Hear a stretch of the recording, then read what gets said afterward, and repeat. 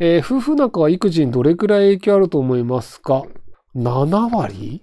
結局、その夫婦仲が悪い状態っていうのは、その人間って揉めるよねとか、人間って嘘つくよねっていうのが、あの、割と子供心でそれを意識してしまって、親が揉めてる家庭の子供って、その間を取り持たなければいけないみたいなところで、結構能力値だったり気を使ったり頭を使ったりするんですよね。で、それがまあ全然余裕のある子だったらいいんですけど、そこがストレスになったりして、結構そのことを覚えてる子供って多いんですよね。夫婦喧嘩の時になんかどっちかにこう抱きついて夫婦喧嘩を止めようとしてたことがあるんだよね。僕若い頃みたいな。っていう記憶が結構残ってしまったりするので、ほんでまあ夫婦仲悪い時にストレスをじゃあぶつける相手を子供にぶつけてしまう人っていうのもやっぱりいるので、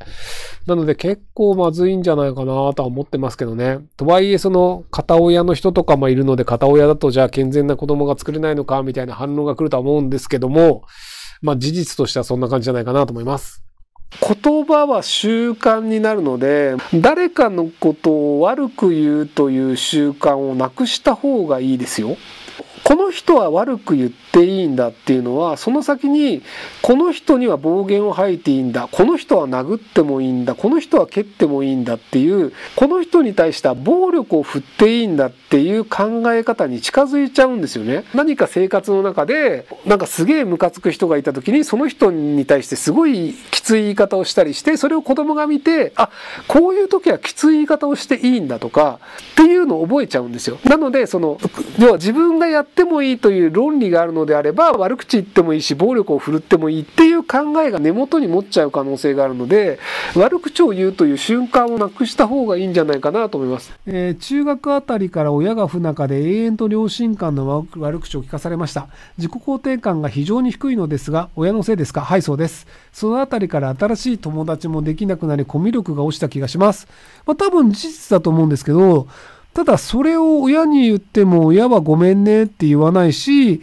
なんか状況が良くなるわけでもないと思うので、多分もうそういう状況でこうなったんだなというのが分かってらっしゃると思うので、あとはもう親から離れて普通にあの、一人暮らしをしていい友達を作ればいいんじゃないでしょうか。えー、自己肯定感の高さは幼少期の親、過去特に母親との関係の影響が強いときました。ひろゆきさんのお母さん、幼少期ひろゆきさんとどのようにかかっておられたか覚えているエピソードがある教えてください。結構ほっと枯れてたんじゃないですかね。ビリー・ホロゴンなわけねえだろ。まあいいや、すいません。まあ、その、僕一人で遊んでた子供なので、えっと、兄弟がいて、兄弟と遊ぼうとして遊べなかったとか、その、例えばそのなんか、兄弟で、そのどっちかが優先されたみたいなのがあると、あ、自分はその劣ってる方なんだみたいになったり、その兄弟同士で競争するみたいになったりするんですけど、割と僕、あの、一人で外で遊んでるタイプの子だったので、あんまりその、あ、あ、ちょ、あの、でかい姉がいるんですけど、比べられるとか比較されるような状況にならなかったんですよね。まあその子供の頃から割とそのなんか頭の回転は良かったので多分姉よりは僕の方が頭いいんだろうなって子供の頃に分かっていたっていうのもあるんですけどなのであんまりなんかその比較をされた覚えがないっていうのがありますねはい。